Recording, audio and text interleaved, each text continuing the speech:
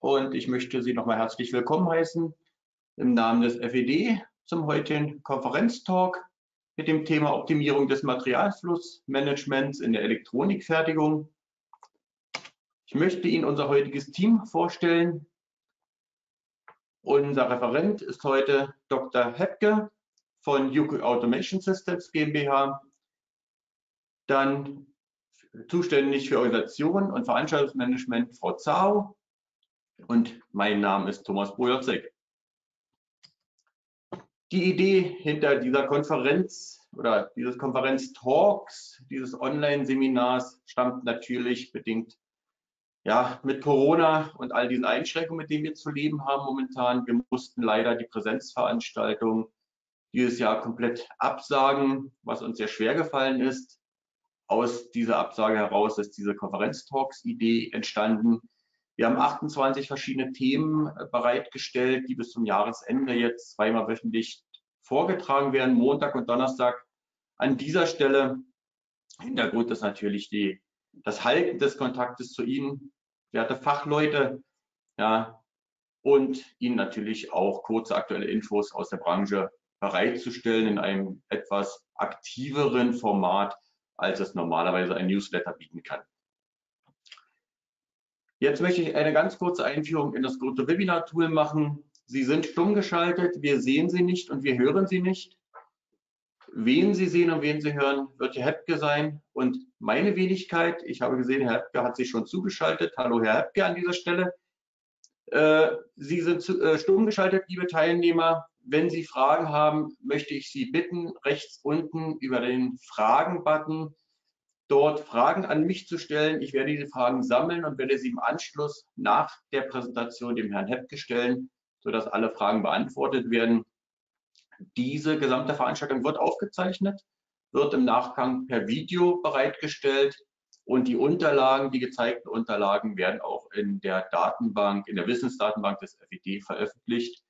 Die entsprechenden Links erhalten Sie mit der nachgehenden Mail, wo dann ein kleiner Feedbackbogen drin ist, wo die Verlinkung zur Wissensdatenbank drin ist und wo auch der Link zu der Videoaufzeichnung drin sein wird. Dann kommen wir zum heutigen Thema. Heutige Thema wird sein Optimierung des Materialflussmanagements in der Elektronikfertigung. Dr. Hepke wird uns dieses Thema etwas näher bringen Dr. Hepke ist in Dresden geboren und absolvierte dort ein Studium der Mechatronik. Nach mehrigem Aufenthalt im wissenschaftlichen Umfeld des Maschinenbaus und nach Abschluss seiner Dissertation war er zunächst mit dem Vertrieb von Simulationssoftware in Deutschland betraut. Anschließend wechselte er in die Elektronikbranche und betreut nunmehr für die Firma Yuki, Yuki alle Kunden und Interessenten für SND und THT-Linienlösungen in den neuen Bundesländern. Nun freue ich mich auf einen interessanten Vortrag und übergebe die Präsentationsrechte an Herrn Hepke. Viel Spaß und bis nachher.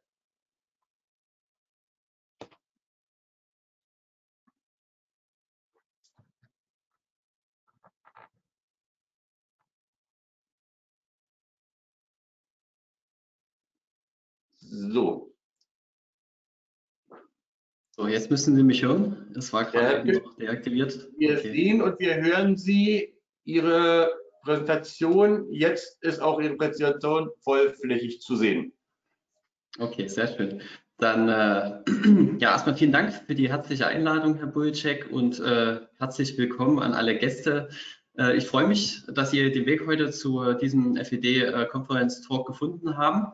Und ähm, ich möchte nachfolgend in den nächsten äh, Minuten Ihnen äh, ein bisschen das Thema Optimierung und Materi äh, des Materialflussmanagements in der Elektronikfertigung vorstellen.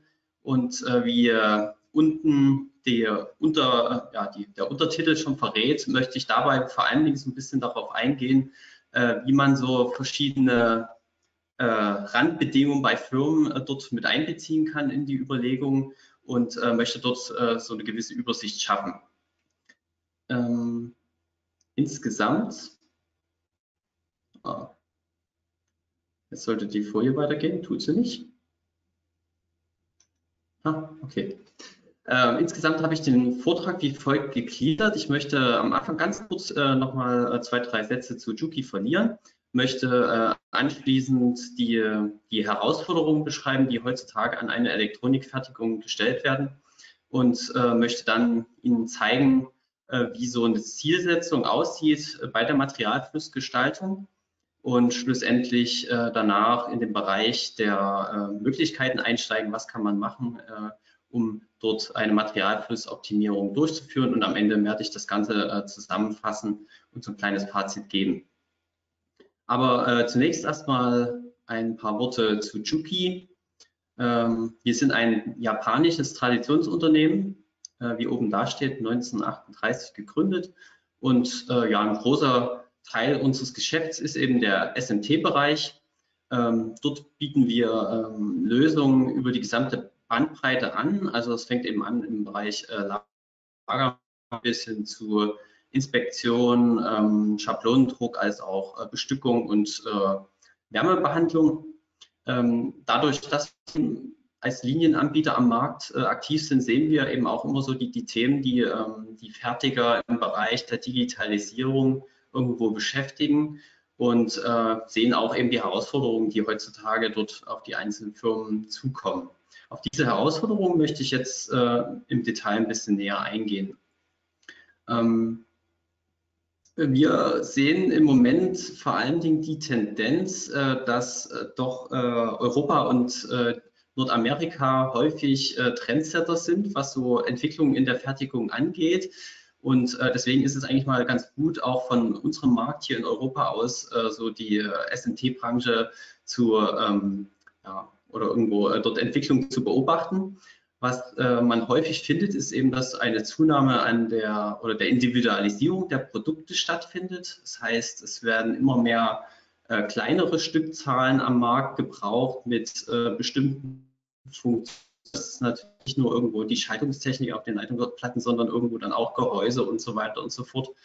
Und ähm, man äh, sieht dort eben auch, dass beispielsweise Layouts von Platinen sehr viel schneller mittlerweile erzeugt werden können äh, ich kann mir auch vorstellen, dass das irgendwann mal sehr automatisiert erfolgt, beispielsweise wenn sich dort äh, Anforderungen ändern, äh, relativ automatisiert neue ähm, PCB-Layouts erzeugt werden können.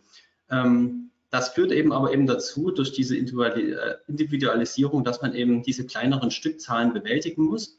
Und das ist so die eine Tendenz, die wir sehen. Und auf der anderen Seite, dass, ähm, ja, ich sag mal, nicht unbedingt mehr ähm, SMT-Experten am Markt verfügbar sind. Also man ist schon äh, dort irgendwo bemüht, das Wissen aufrechtzuerhalten und äh, gegebenenfalls auch Werkzeuge einzusetzen, um das weiter äh, voranzubringen.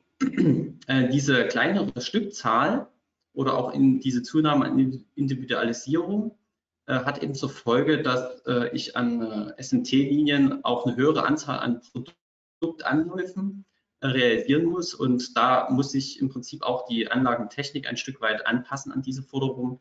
Die muss eben flexibel sein, als auch ähm, irgendwo ja durch Assistenzfunktion äh, ein relativ schnelles Anfahren von neuen Produkten ermöglichen.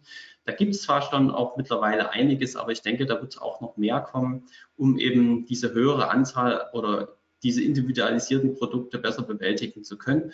Und im gleichen Zug denke ich auch, dass ähm, ja, mehr Materialien eher noch in, zum Einsatz kommen oder eine, eine höhere Vielfalt an, Materialien, die wiederum ähm, hinsichtlich des Materialmanagements dort auch wieder äh, mehr Anforderungen stellen, um äh, das Material zeitgerecht an den Fertigungslinien bereitzustellen.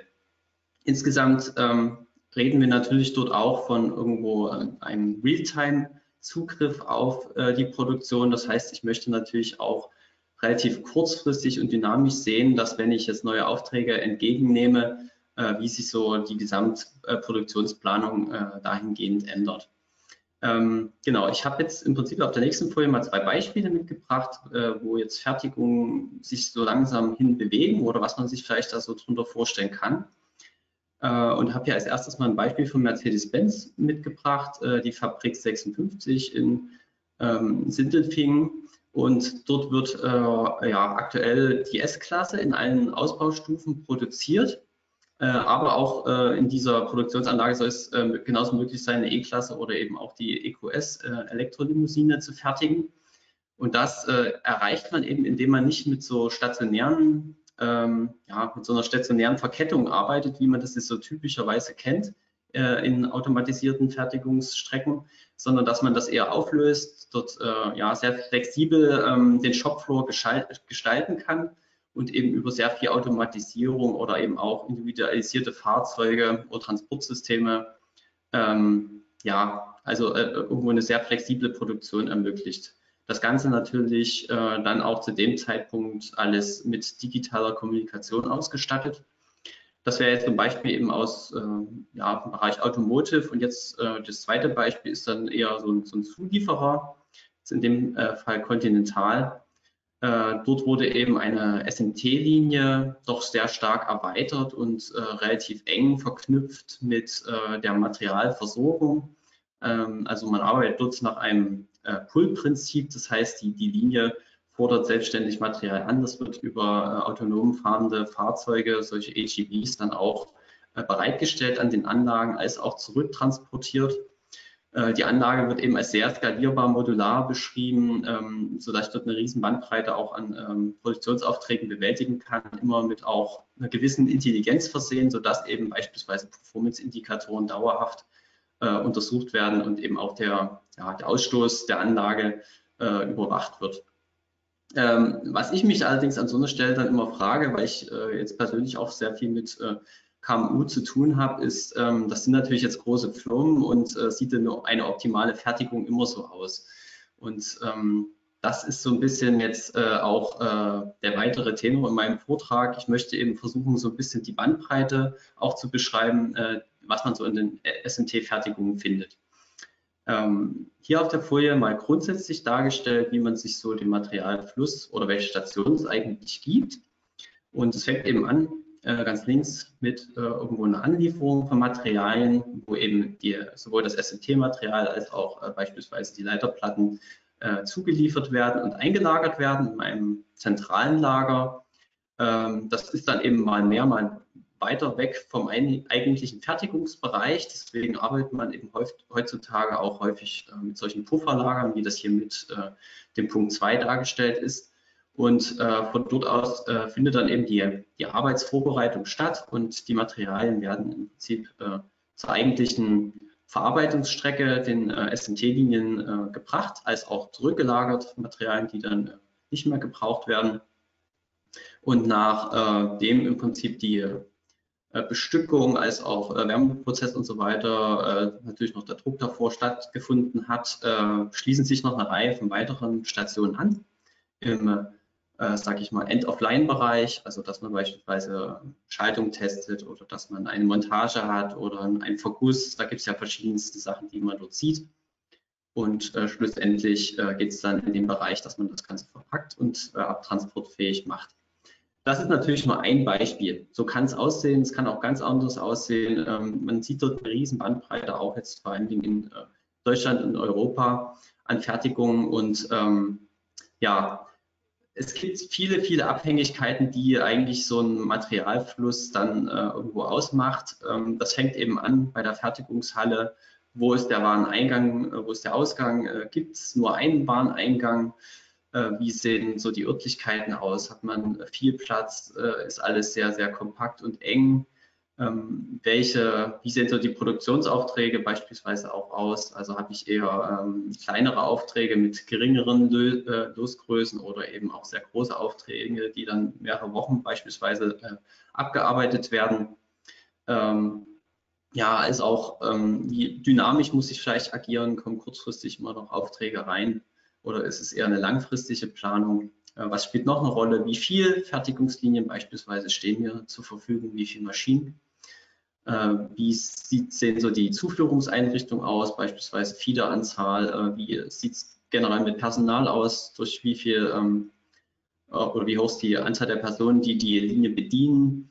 Ähm, und natürlich auch äh, generell das Material, wie viel, äh, wie sind äh, die, die Packungsgrößen oder was, wie sehen die Zuführungsarten aus, gibt es beispielsweise neben Rollen auch ähm, Sticks, Trays und so weiter und so fort. Ähm, Kundenbeistellung ist eben auch noch ein wichtiger Punkt. Und äh, ja, zum Beispiel, wie viel äh, Umlaufbestände überhaupt akzeptiert werden jetzt rein äh, vom äh, Geldfluss in, innerhalb der Firma. Ähm, wichtig ist hier vielleicht noch eins zu sagen, also das sind natürlich alles Abhängigkeiten, die irgendwo äh, zu einem unterschiedlichen Materialfluss in den Unternehmen führen. Äh, bei Materialien oder ja, genau, ähm, das steht hier unten auch nochmal ähm, dargestellt, dass diese, diese Einflussfaktoren sehr stark nun abhängig da, äh, davon sind, was für ein Unternehmen ich jetzt äh, dort betrachte in welchem Geschäftsfeld man unterwegs ist, ob es eben äh, beispielsweise ein OEM eher ist, der noch äh, einige mehr Prozessschritte mit abbildet oder eher ein, äh, ein Dienstleister, EMS an der Stelle.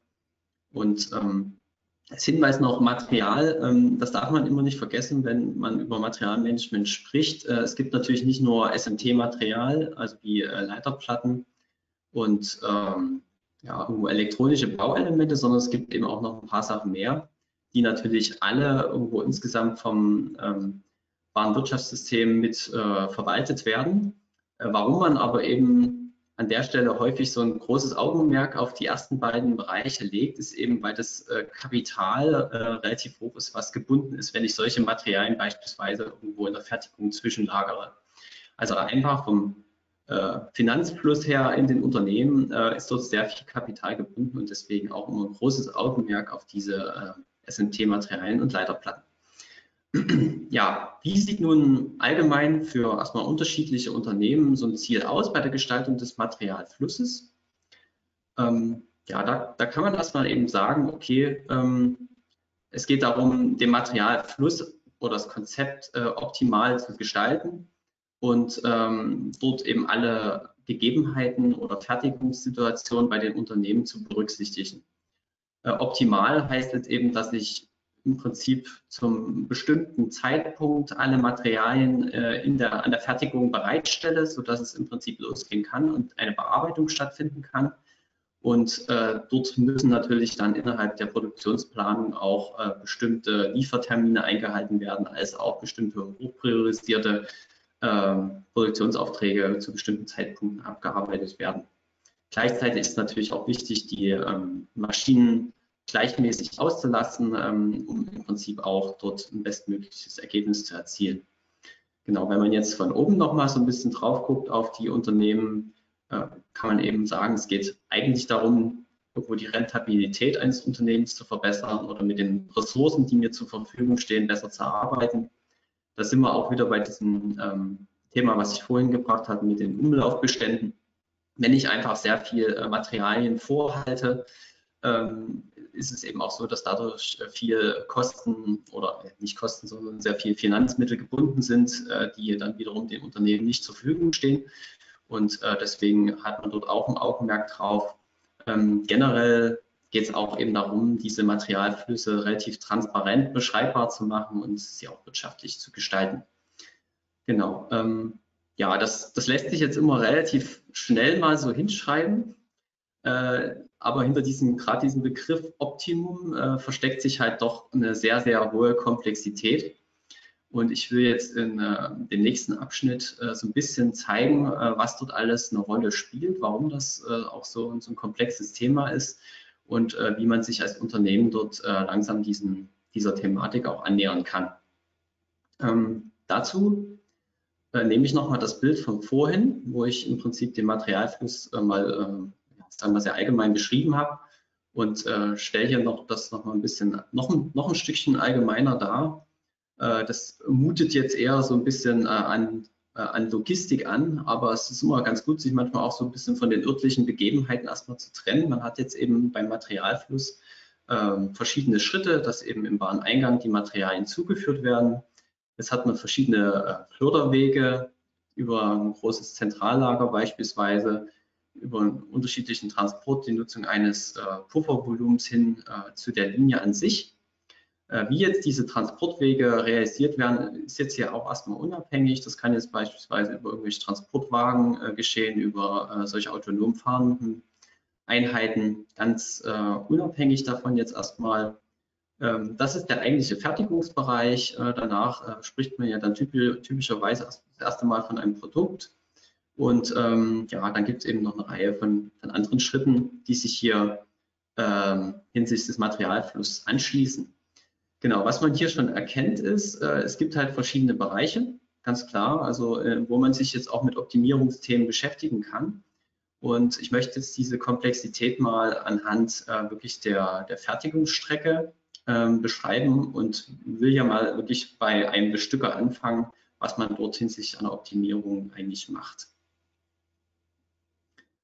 Ähm, ich habe es jetzt mal maschinenbezogene Optimierung benannt. Also hier ist es ja äh, typischerweise so, dass ich versuche, die Feeder op äh, möglichst optimal anzuordnen, sodass die, äh, die Wege oder die Trajektorien, die sich hier für den Kopf ähm, während der Bestückung ergeben, ja möglichst zeitoptimal äh, gestaltet sind. Also so eine, ja, eine Bahnplanungsaufgabe.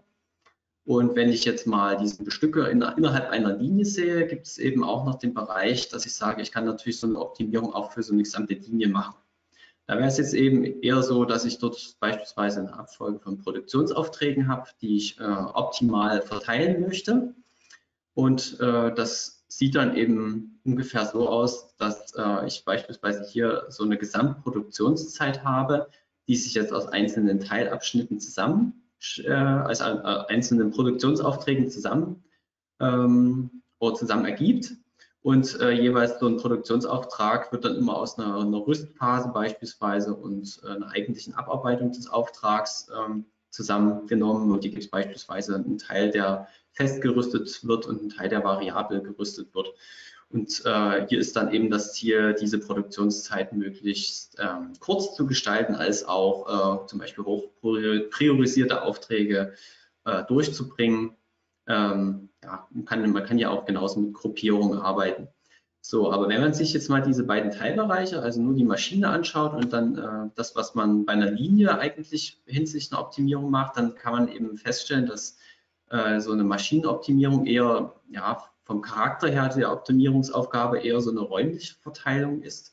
Und äh, wohingegen, wenn ich mir die gesamte Linie und die Abarbeitung von Produktionsaufträgen anschaue, das eben eher eine zeitliche Aufgabe ist. Also man hat hier mehrere Dimensionen, diese räumliche und zeitliche. Und das ist schon mal der erste, ja, erste Grad, äh, was eben ein bisschen komplex macht, zum Beispiel so eine gesamte Optimierung hier durchzuführen.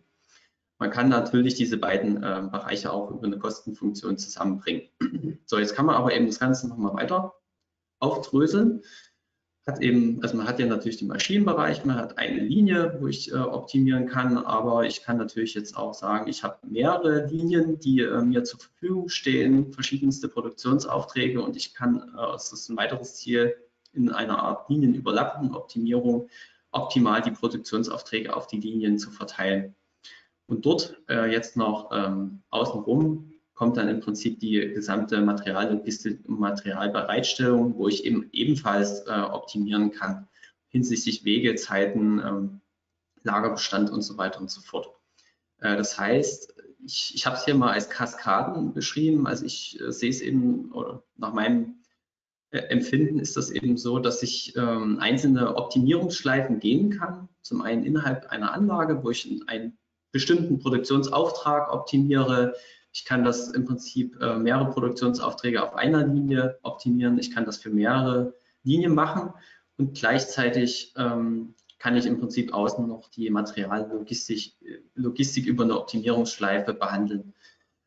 Genau, und ähm, da sieht man jetzt eben, dass es sehr, sehr doch, also dass es äh, zum einen verschiedene Optimierungsbereiche gibt und sehr viele Abhängigkeiten, wie wir das auch vorher gesehen haben, wie eben ähm, solche Fertigungsbedingungen in Unternehmen aussehen. Und tendenziell kommt man eigentlich dazu, dass man diese Komplexität eher begrenzen muss, um, es, äh, um eben irgendwann erstmal zu Ergebnissen zu kommen und äh, auch das umsetzen zu können. Genau, äh, prinzipiell bei der Umsetzung oder wenn jetzt ein Unternehmen ähm, sich so eine Optimierung nähert, kann ich dort ähm, irgendwo oder würde ich vier Teilschritte ähm, ansetzen. Ähm, am Anfang so eine Vorabanalyse. Da kommen wir gleich dazu, wo man sich erstmal ähm, vor Augen führt, wie ich, äh, wie fertige ich im Moment und wofür wie viel Zeit ähm, investiert. Als nächstes, wenn man dann auch äh, Richtung Auswahl eines Optimierungswerkzeugs geht, sollte man äh, vorher so ein bisschen sich Gedanken machen, äh, welchen Ansatz wähle ich dort, was könnte dort geeignet sein. Und ähm, nachdem man dann ein Werkzeug ausgewählt hat, kann man äh, in die Erarbeitung von Optimierungsergebnissen gehen und diese auch umsetzen. Ähm, der erste Schritt ist aus meiner Sicht wirklich wichtig, ähm, egal wie jetzt äh, das Unterne äh, Unternehmen konkret arbeitet, ähm, so eine Vorabanalyse. Ich habe jetzt hier oben nochmal die, äh, die Schleifen dargestellt, die man sich so vorstellen kann innerhalb äh, der Fertigung. Und äh, Vorabanalyse bedeutet eigentlich, dass ich für diese einzelnen Teilbereiche, jetzt wie die Materiallogistik, als auch vielleicht jetzt klassisch die ähm, äh, Verarbeitung der Materialien, dass ich dort äh, versuche, eine gewisse Transparenz zu schaffen. Also wie viele Materialien werden zum Beispiel innerhalb einer Schicht bewegt, ähm, wie lange dauert die Suche von Materialien, die Bereitstellung, wie sieht es mit Transportwegen aus. Also in einem besten Fall äh, kommt man eben zu äh, dem Punkt, dass ich äh, es schaffe, für typische Produktionsaufträge, die ich zu bewältigen habe, mir äh, mal aufschlüssele, wie viel Zeit für einzelne Schritte äh, notwendig sind, um eben ja auch erstmal ein Gefühl dafür zu bekommen, ähm, wie, wie arbeite ich eigentlich in meinem Unternehmen. Und das muss man natürlich nicht nur für den äußeren Bereich machen, das muss man auch dann für die inneren Bereiche machen, wie beispielsweise ähm, an, an, der Linie, dass ich eben äh, mir mal anschaue, wie viel rüste ich eigentlich, wie viel Zeit äh, produziere ich effektiv, ähm, ja, wie ist der Anteil der Festrüstung dabei. Grundsätzlich, ähm, ja, ich hatte es hier nochmal hingeschrieben mit den Fragen, es geht eben darum, schon mal im Vorfeld äh, abzuschätzen, wo könnten Potenziale liegen. Das meine ich auch mit Transparenz schaffen. Und es ist vielleicht auch eine wichtige Frage, welche Bereiche brauche ich mir eventuell nicht anschauen in, innerhalb einer Optimierung. Beziehungsweise ähm, könnte ich, äh, wenn ich jetzt in der Optimierung irgendwo ein Ergebnis sehe, das überhaupt umsetzen.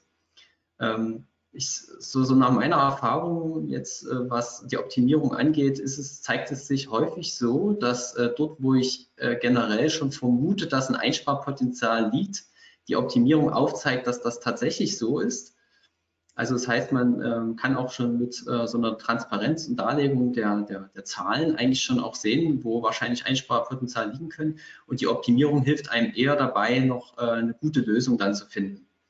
Aber es ist, äh, also wie gesagt, die Optimierung ist meistens kein, kein äh, Selbstläufer, sondern ähm, man muss sie gezielt anwenden und äh, am Anfang eben auch geschickt Randbedingungen wählen. Ähm, ich habe jetzt auf der Folie mal dargestellt, was vielleicht so Indizien sein könnten, dass ich, ähm, ja, ich sag mal, dass ich vielleicht irgendwo ein Optimierungspotenzial finde. Ähm, wie gesagt, äh, es kann auch in bestimmten Unternehmen ähm, dann eben mal nicht so zutreffen, aber zumindest sind das Dinge, wo man äh, mal genauer hinschauen könnte, ob sich dort äh, Optimierungspotenzial verbirgt. Äh, das gibt es eben zum Beispiel das Thema Transportwege, sind die eben relativ kurz oder sind es relativ lange Transportwege? Ähm, generell die Gestalt der Fertigungshalle finde ich auch persönlich äh, sehr wichtig. Wenn das ähm, in einer Fertigungshalle einfach sehr kompakt äh, gebaut ist, habe ich ja beispielsweise kaum Möglichkeiten auch hinsichtlich der Materiallogistik viel Änderungen vorzunehmen oder ich muss eben schauen, also wohingegen jetzt äh, eine Fertigungshalle, die relativ großzügig ähm, umgesetzt ist, äh, da habe ich erstmal grundsätzlich mehr Möglichkeiten. Es spielt dann noch eine Rolle, wie viel Material ist unterwegs, ähm, ja, wie viel oder was habe ich so an, an, an Bestand, äh, wie, wie, viel Zeit äh, brauche ich eben für die Materialsuche. Das können alles Indikatoren sein, auch zum Beispiel, wie viele Produkte ich oder Produktwechsel ich pro Schicht habe. Das können äh, Indikatoren sein, dass man eben dort mit einer Optimierung ansetzt. Ähm, ja, und äh, zu guter Letzt ja auch noch äh, Dynamik. Also jemand, der sehr, sehr langfristig planen kann, ähm, wird wahrscheinlich tendenziell nicht in so eine Situation kommen, dass er in der Not kurzfristig neue Aufträge ein, äh, unterbringen muss, um dann vielleicht eben außerhalb, sage ich mal, der optimalen Bearbeitung zu laufen. Ähm, genau, also es sind insgesamt mal Anhaltspunkte, was zutreffend sein kann, muss nicht, ähm, aber ähm, das, das sind Punkte, wo man drüber nachdenken kann. Und entsprechend dieser Potenziale, die ich vermute, ähm, würde ich dann im Prinzip auch anfangen, bestimmte Bereiche einer Optimierung zu unterziehen. Ähm, diese, äh, es gibt jetzt verschiedene Ansätze, die man wählen kann für so eine Optimierung. Und äh, ich würde jetzt mal für den inneren Bereich, also für so eine Linienoptimierung, ähm, drei Ansätze zeigen, die aber auch auf die anderen Bereiche im Prinzip übertragbar sind. Ähm, es handelt sich dort im Prinzip um, äh, sagen wir mal, mathematische Methoden, die man durchführt und lassen sich, äh, lassen sich in gleicher Weise übertragen. Genau, also Optimierungsansätze. Als erstes Beispiel die gesteuerte Simulation. Ähm, das kann man sich so vorstellen, ich würde im Prinzip ähm, ein Modell von einer Linie beispielsweise ähm, erzeugen wo über analytische Lösungen beispielsweise Bewegung des Kopf ähm, berechnet werden und ähm, als auch Taktzeiten beispielsweise. Und ich könnte jetzt über eine bestimmte Vorgabe von Eingabeinformationen, also welche Produktionsaufträge äh, sollen abgearbeitet werden, bei welcher Losgröße, wie komplex sind die, äh, welche Maschinen stehen mir zur Verfügung innerhalb der Linie, wie soll gerüstet werden, könnte ich jetzt beispielsweise ein Ergebnis äh, berechnen. Also beispielsweise bei welcher Taktzeit ähm, lande ich dort äh, wahrscheinlich und wie sieht so die Maschinenauslastung aus und eine geeignete Auftragsabfolge. Ähm, bei dieser gesteuerten Simulation ist es eben so, dass ich aber diese Rückschleife im Prinzip nicht habe. Das heißt, ähm, man trifft hier eine Vorgabe und am Ende kommt ein Ergebnis raus, aber das, ähm, diese weiteren Anpassungsschritte, wenn ich hier vielleicht ein Stück besser werden will, muss jemand vornehmen. Also das heißt, ähm, ein erfahrener ähm, Bediener von diesem Werkzeug. Und das ist eben so ein bisschen das, der Nachteil davon. Es ist eben sehr erfahrungsbasiert. Und ähm, ich komme äh, vielleicht nicht in die Lage, auch außerhalb dieses Erfahrungsschatzes mal eine Lösung zu finden. Hingegen bei einer mathematischen Optimierung, wie man es ähm, allgemein versteht, ist es eben der Fall, dass ich dort ein gewisses Optimierungsziel habe, beispielsweise die Bearbeitungszeiten an einer Linie zu optimieren oder die Kosten zu reduzieren. Ich hätte dann hier auch wieder so ein Modell von der Linie, ähm, um mir auszurechnen für bestimmte Eingangsinformationen, was ergibt sich für eine Maschinenauslastung und so, äh, und so weiter und meinetwegen auch für eine Bearbeitungszeit. Ähm, aber hier habe ich im Prinzip einen Rückfluss. Also ich würde im Prinzip einmal so einen Simulationsdurchlauf durchführen, würde Zielgrößen auswerten und könnte dann hier beispielsweise bestimmte Dinge ändern. Automatisiert, das heißt mal die Konfiguration verändern oder mal das Rüstkonzept verändern. Und dort könnte ich im Prinzip auch einen größeren äh, Suchraum, sage ich mal, äh, abarbeiten, als das jetzt beispielsweise bei so einem ein, äh, ein ja, sagen wir so einem eindimensionalen äh, Simulationsdurchlauf der Fall ist. Ähm, ja, genau, aber Bereich mathematische Optimierung, ich sage mal in einer vereinfachten Form, das wird schon viel in den Werkzeugen heutzutage eingesetzt. Und äh, jetzt gibt es noch einen dritten Ansatz und das sind äh, trainierte Datenmodelle äh, oder eben auch neuronale Netze, eigentlich das, was man jetzt unter Machine Learning äh, klassisch versteht. Äh, ich will jetzt nachfolgend ein bisschen ähm, näher beschreiben, was, was man hier eigentlich macht. Es ist äh, dennoch ähm, sehr relativ einfach gehalten. Ähm, ich, äh, man muss, um so ein Datenmodell äh, zu erzeugen, erstmal in einen Trainingsvorgang gehen, also dieses Datenmodell, ich sag mal, füttern mit Informationen, zum Beispiel Fertigungssituationen. das kann direkt aus der Produktion kommen, auch zum Beispiel aus Simulationen, die man im Vorfeld durchgeführt hat. Und so ein Datenmodell verknüpft dann im Prinzip Eingabebedingungen mit Ausgabebedingungen. Das heißt, für eine bestimmte Fertigungssituation, bestimmte Produkte, die gefertigt werden sollen, bestimmte Produktionsaufträge, Maschinen, die zur Verfügung stehen, ähm, ja, wie sieht der Linienoutput aus, wie sah die Auslastung aus, das wird miteinander verknüpft. Und ähm, bei der mathematischen Optimierung ist es eben so, die braucht relativ lang, dann, wenn man es anwendet, durch eben diese Zyklen, die man dort fährt, äh, beim Datenmodell ist es so, wenn es einmal trainiert ist, kann ich mir relativ einfach ähm, anhand einer neuen äh, Fertigungssituation ausrechnen, wie wahrscheinlich meine Auslastung beispielsweise an der Linie aussieht. Also das heißt, man hat hier den Vorteil, dass man dann relativ schnell ist, nachdem dieser äh, Trainingsvorgang durchgeführt worden ist. Ähm, genau, wie sieht nun das Training und die Nutzung solcher Datenmodelle aus? Diese Genau, das ähm, hatte ich ja eben schon erwähnt. Also äh, an für sich die Daten, um so ein Training durchzuführen, die kommen eben entweder zum Beispiel aus Simulation oder direkt aus der Produktion. Und äh, so eine Datenreihe kann eben ja eine bestimmte Fertigungssituation darstellen. Bestimmte Produkte, die zu bestimmten pa Prozessparametern gefertigt werden äh, in der Eingabe und als Ausgabe, ähm, ja, welche äh, Taktzeit hat sich nun ergeben oder wie sieht die Auslastung der Maschinen aus. Ähm, so ein, so ein Trainingsdatensatz ist im Prinzip eine Reihe von, von Zahlen, eine, eine Matrix, ähm, wo jede Zeile im Prinzip so eine Fertigungssituation widerspiegelt. Und ähm, damit wird im Prinzip das Datenmodell gefüttert. Also äh, wenn man dort äh, das Datenmodell damit anspricht, bilden sich halt Knoten aus, äh, als auch äh, Wichtungen. Und am Ende habe ich hier nochmal zwei Kontrolldatensätze, um dann schlussendlich das trainierte Datenmodell nochmal ähm, zu hinterfragen, ob dort qualitativ das Richtige rauskommt. Ähm, was jetzt eben schon wichtig ist, ist, dass ähm, diese Fertigungssituation, alles, was ich hier in diese Trainingsdaten drin habe, sind halt äh, numerische Ausdrücke, also Zahlen mit einem Wertebereich von bis. Das heißt, es ist hier nicht erlaubt, irgendwo zum Beispiel qualitative Aussagen mit ähm, zu, zu nutzen, sondern ich muss äh, alles versuchen, über einen Zahlenbereich auszudrücken.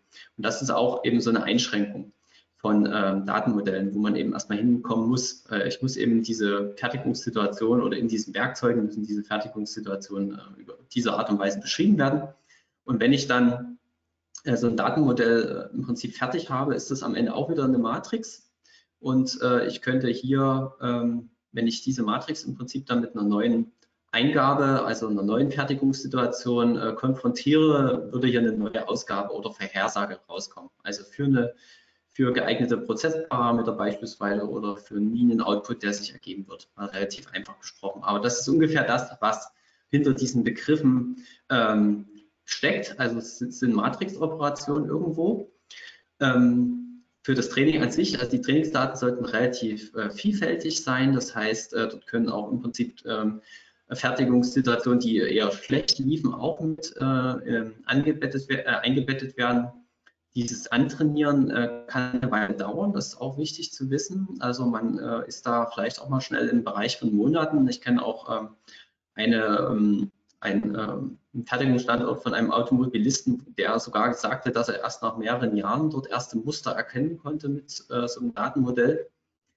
Ähm, grundsätzlich, ich, ich habe ja so ein Datenmodell angelernt mit verschiedenen Fertigungssituationen, trainierten Daten. Das kann man sich auch so als eine Art Punktwolke vorstellen. Wenn ich jetzt eine neue Fertigungssituation habe und möchte wissen, wie, äh, ja, welchen Linien-Output kann ich dort äh, erzeugen oder welche Prozessdaten sind dort geeignet, äh, dann ist es natürlich immer gut einzunehmen, der auch innerhalb dieser Punktwolken liegt. Dann habe ich eben, eben so ein Interpolieren äh, wenn es ein Punkt ist, der außerhalb liegt, dann wäre ich bei so einer Art Extrapolieren und das ist für so ein Datenmodell relativ schwierig äh, abbildbar. Das heißt, gänzlich neue Fertigungssituationen, die, die, meine Anlage oder meine Fertigung noch nie gesehen hat, äh, die sind auch über so ein Modell äh, hinsichtlich einer Vorhersage oder einer Empfehlung schwer abzubilden. Also das heißt, ähm, man sollte sich in dem Raum, äh, Raum bewegen, wo man auch vorher schon gearbeitet hat. Gut, jetzt von diesem bisschen abstrakten kommen wir jetzt mal wieder zurück. Wenn man sich das jetzt mal zum Beispiel für einen EMS-Dienstleister oder für einen OEM äh, vorstell, vorstellt, sehe ich jetzt erstmal persönlich beim EMS-Dienstleister aufgrund einer höheren Vielfalt an Aufträgen und Losgrößen, die man bearbeiten muss, schon eher Schwierigkeiten, äh, sowas abzubilden, als äh, wenn es jetzt beispielsweise ähm, ein OEM-Fertiger äh, ist, der dort äh, ja, eine viel bessere Planbarkeit und Transparenz irgendwo besitzt. Da denke ich, äh, ist es eher denkbar, dass man auch mit solchen äh, trainierten Datenmodellen arbeitet, um die Fertigung ähm, relativ schnell auf neue Produkte beispielsweise einzustellen, als jetzt bei einem EMS-Dienstleister. Genau, also diese drei Ansätze, das heißt diese Simulation ohne Feedback, die mathematische Optimierung, als auch äh, das Arbeiten mit Datenmodellen, das steckt jetzt eben mehr oder weniger in äh, auch kommerziell verfügbaren Optimierungswerkzeugen drin.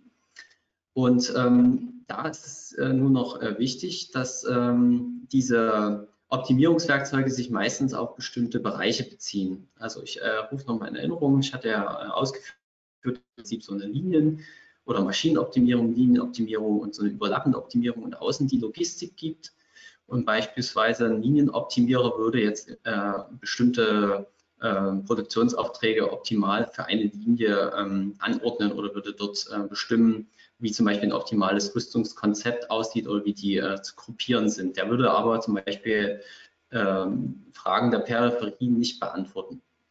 Äh, wohingegen jetzt beispielsweise so ein Produktionsplanungstool ähm, typischerweise eigentlich jetzt, was die Maschine angeht, dort sehr, sehr vereinfacht nur Annahmen trifft. Also da werden keine Bahnen geplant und so weiter, sondern es wird relativ einfach bestimmt, was, äh, was an der Maschine dort ähm, möglichst gut äh, wohl zu platzieren ist. Ähm, wo aber jetzt viel passiert hinsichtlich der Optimierung ist eben die, äh, die Planung der, der Produktionsaufträge auf den einzelnen Linien, sodass man dort eben eine Wochenplanung relativ optimal gestalten kann oder eben auch ähm, What-If-Szenarien durchfahren kann. Das heißt, wenn neue Aufträge reinkommen, äh, wie wirkt sich das auf, mein, äh, auf meine Fertigung aus? Ähm, genau, und ein anderer Bereich wären jetzt eben Materialflussplaner, die wiederum würden äh, eigentlich diesen inneren Bereich sich wenig anschauen, sondern würden sich eben eher darauf konzentrieren, wie sehen äh, Materialwege aus, Logistikketten, ähm, wo es ist, welches Material vorhanden, wo können sich Engpässe ergeben, ist es vielleicht sinnvoll, irgendwo einen Puffer für das Material einzubauen und das kann man dann auch eben auch nutzen, um so ein Layout von so einer Fertigung vorzunehmen. Genau, also hier an der Stelle der Hinweis, ähm, ich sollte im Vorfeld immer mal schauen, was das für ein Werkzeug ist, was ich dann am Ende verwende, auf welche Bereiche sich das bezieht. Und am Ende ist das auch das Richtige. Wenn ich zum Beispiel sage, ähm, mir kommt es hier nicht auf die ähm, kürzeste Zeit ein, äh, Bearbeitung eines ähm, Produktionsauftrages an, äh, dann ist, äh, ist das zum Beispiel auch äh, okay, wenn man dann in so einem äh, Werkzeug einfach diesen Bereich nicht anfasst. Genau. Ähm, es gibt nun verschiedene äh, Ergebnisse, die dann aus äh, diesen Optimierungswerkzeugen herausfallen können. Äh, bei einem Linienoptimierer kann das beispielsweise jetzt optimiertes äh, Rüstkonzept sein, was ich umsetzen muss. Ähm, bei einer Produktionsplanung eine bestimmte Abarbeitung der Produktionsaufträge innerhalb einer Woche und bei so einem Materialflussplaner kann das bedeuten, ähm, dass der mir beispielsweise empfiehlt, dass ich äh, die Vorbereitung der Aufträge relativ zentral und äh, räumlich zentral vornehmen muss oder beispielsweise dort auch mit zusätzlichen Materialspeichern relativ nah an der Linie arbeiten soll. Ähm, grundsätzlich sieht man da aber schon, dass das vielleicht auch vom Invest her ein bisschen äh, unterschiedlichen Charakter hat, ähm, so man ähm, ja, dass manche Ergebnisse sich, äh, sagen wir mal, relativ einfach umsetzen, umsetzen lassen, auch vom, vom Invest her und manche, manche vielleicht dann doch auch einen größeren Invest darstellen in der Umsetzung und deswegen ist es dort einfach empfehlenswert, auch Optimierungsergebnisse nochmal hinsichtlich der Wirtschaftlichkeit äh, äh, zu hinterfragen. genau, ähm, ja, ich möchte jetzt äh, kurz am Ende das Ganze zusammenfassen. Ähm, man äh, hat häufig Potenziale innerhalb des Materialflusses, aber ähm, der, der Aufwand zur Erschließung dieser Potenziale ist äh, relativ unterschiedlich. Es gibt eben Potenziale, die man ähm, relativ einfach äh, sich erarbeiten kann, wie beispielsweise, ähm, äh, dass man eine durchgängige Digitalisierung äh, von Dokumenten und Prozessabläufen durchführt oder dass man eben auch mehrere Datenbanken irgendwann mal zusammenführt und eine Datenkonsistenz erarbeitet. Ähm, wenn man dann eben an, in ja, die anderen Optimierungsschritte gehen möchte, ist es eben sehr zu empfehlen, vorher erstmal ähm, ja, durch eine, Offenlegung der Zahlen, sage ich mal, eine Transparenz zu schaffen. Also wo können Optimierungspotenziale liegen, die ich dann äh, wiederum mit ähm, so einem Optimierungswerkzeug äh, versuche ähm, anzugehen oder ähm, zu verbessern. Und ähm, da ist eben der erste Schritt wichtig, um so diese Komplexität ein Stück weit einzugrenzen und es nicht äh, ausufern, äh, ausufern zu lassen. Und wenn man dann ähm, Ergebnisse hat, ähm, äh, die aus so einer Optimierung herauskommen, ist natürlich auch noch ähm, zu prüfen, ob die äh, insgesamt auch im Kontext äh, des Unternehmens wirtschaftlich umsetzbar sind und wie willig auch vielleicht auch das äh, Unternehmen ist, die eine oder andere Maßnahme umzusetzen. Ähm, ja, also grundsätzlich, es ist ähm, ja, das bei, bei, bei der Optimierung oder bei den Werkzeugen ist, ist, ist kein, ähm, das sind etablierte Methoden. Dies, das ist komplex, aber man kann eben durch gezielte Setzung von Randbedingungen auch diese Komplexität einschränken und dann eine passende Strategie auch für sein Unternehmen finden, um bestimmte Bereiche vielleicht auch schrittweise dann erstmal äh, anzugehen und zu optimieren. Genau. Ähm, ja, und als letzten Satz, ich bin ein bisschen über Zeit, ich weiß, äh, die äh, ich, ich, ich, persönlich sehe dort äh, OEMs ähm, ein bisschen im Vorteil, weil äh, dort eben mehr Transparenz hinsichtlich der Produktionsaufträge vorliegt oder die einfach auch mit einer höheren Planbarkeit äh, arbeiten in der Regel als ähm, bei EMS-Dienstleistern, wo eben noch mehr, äh, sage ich mal, passieren kann, auch innerhalb solcher Pro Produktionszyklen. Und ähm, man muss dann eben immer schauen, auch beim EMS-Dienstleister, ähm, wo man vielleicht äh, auch geschickt äh, anfangen kann und um erste Potenziale äh, zu schöpfen. Genau, damit bin ich am Ende meines Vortrags äh, angekommen und bedanke mich recht herzlich für die Aufmerksamkeit. Ja, dann schalten wir ganz kurz um. Natürlich sind ein, zwischendurch ein paar Fragen reingekommen, die ich Ihnen gerne stellen möchte. Erstmal vielen Dank für den interessanten Vortrag bis hierher.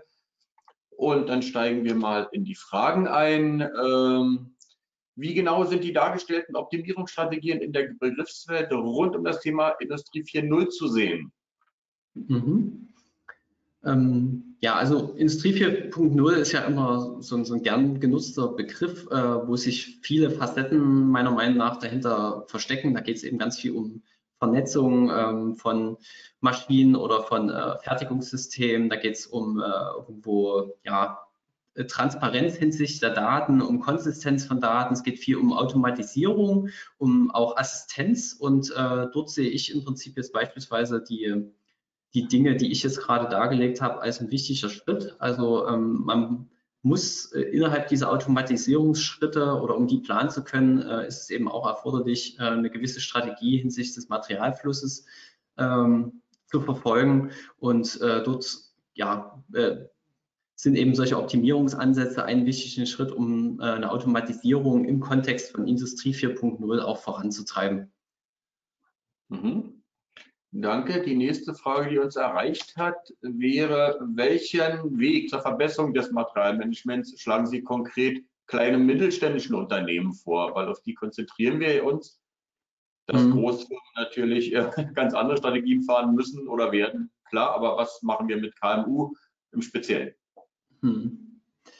Ähm, ja, man, man hat häufig äh, bei, bei Vorträgen in der Vergangenheit gesehen, dass dort meiner Meinung nach schon sehr äh, stark auf äh, den Automotive-Bereich geschaut wurden, wurde. Und äh, dort ist eben der Hintergrund, dass natürlich aufgrund der höheren Stückzahlen ähm, dort man auch ähm, Methoden oder jetzt irgendwelche äh, Automatisierungsansätze relativ einfach äh, begründen kann, warum das wirtschaftlich sich auch darstellt. Und bei ähm, kleineren oder mittleren Unternehmen ist eben immer das Thema Invest, was irgendwo mitschwingt. Lohnt sich das, äh, dorthin zu gucken?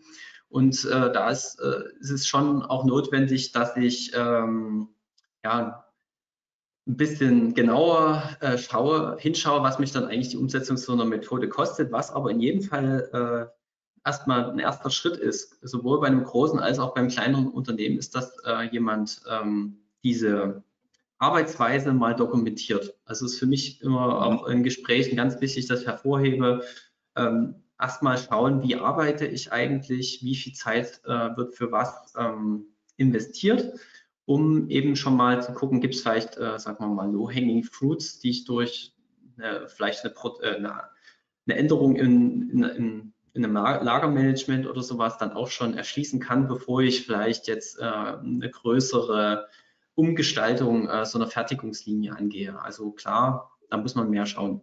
Hm. Alles klar.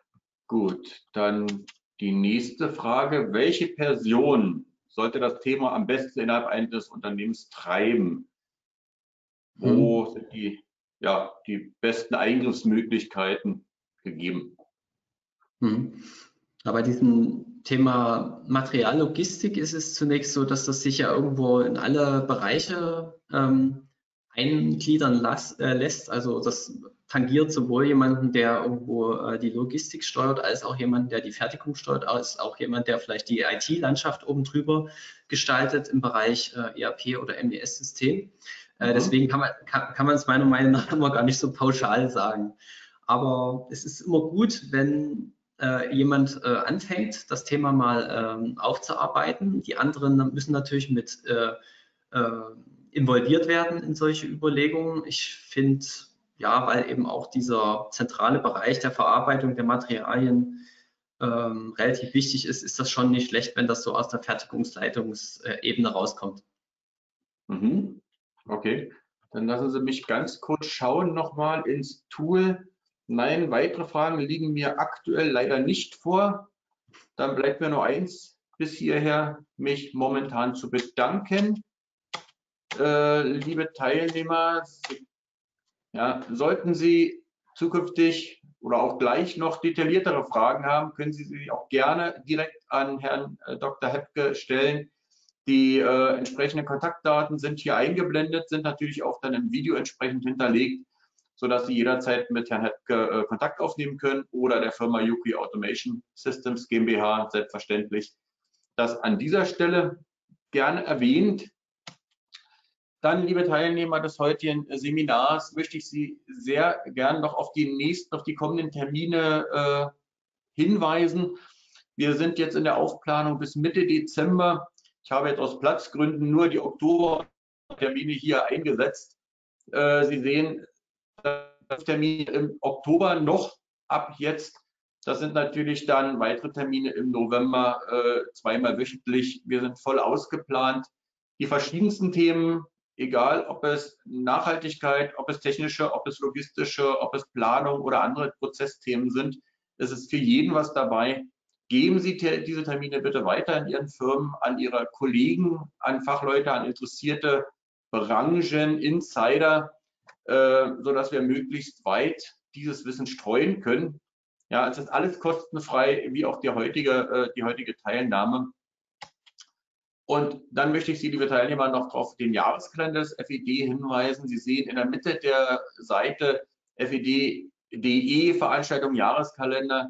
Dort sehen Sie tagesaktuell gepflegte Präsenzschulungen, die wir noch durchführen dürfen, soweit Corona es uns momentan nicht verbietet, natürlich unter Beachtung jeglicher Corona-bedingten Hygienemaßnahmen, also Abstände, ähm, Hygieneregeln etc. pp. wird natürlich strengstens beachtet durch uns, aber Präsenzschulungen sind möglich in den Seminarzentren deutschlandweit, wie auch in Berlin, wie auch bei Ihnen als Inhouse-Schulung ausgeprägt. Äh, kommen direkt jetzt, gerade aktuell, neben den Konferenztalks gibt es die Online-Live-Seminare Ende äh, der kommenden Woche, ähm, lassen Sie mich bitte kurz schauen, 22. und 23. diesen Monat, beispielsweise Zuverlässigkeit und Qualität, durch Herrn Bruderek äh, äh abgehalten, ein zwei Tages Online-Live-Seminar, zwei Vormittage, drei Stunden. Sehr interessant wird, äh, ist in der Vorbereitung auch im Jahreskalender verfügbar die Regionalgruppenveranstaltungen, die kostenfrei und deutschlandweit äh, zu betrachten und äh, ja zu genießen sind. Äh, Regionalgruppenveranstaltungen noch aus der Vergangenheit heraus. Mittlerweile sind sie deutschlandweit ausgerollt, kostenfreie Teilnahme. Und bei interessanten Themen ist die Mitarbeit auch gerne erwünscht und gesehen. Weitere Events sind im Jahreskalender hinterlegt. Das sind diese Events wie eben Konferenztalks, äh, äh, Reihe die wir gerade heute hier miteinander genießen dürfen. Dann bleibt mir momentan nur eins. Ich bedanke mich für Ihre Teilnahme, liebe Teilnehmer. Vielen Dank, Herr Höpke. Sehr gute äh, Präsentation zum Thema Optimierung des Materialflussmanagements in der Elektronikfertigung. Ich bedanke mich bei Ihnen, Herr Höpke, bedanke mich bei Dankeschön. Ihnen, Teilnehmer, für Ihre aufmerksame, ja, ja, für Ihre Aufmerksamkeit an der Stelle und wünsche Ihnen alles Gute und verabschiede mich im Namen des FED und persönlich bleiben Sie gesund und vielen Dank. Bis zum nächsten Mal. Wiedersehen. Tschüss. Tschüss.